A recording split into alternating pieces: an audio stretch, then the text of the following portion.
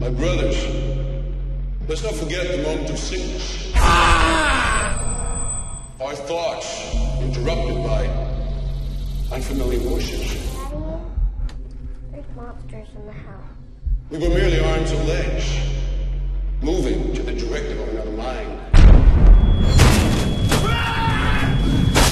From this moment on, you're no longer a slave to the government. From this moment on, your mind is your own. From this moment on, you will seek vengeance on your oppressors.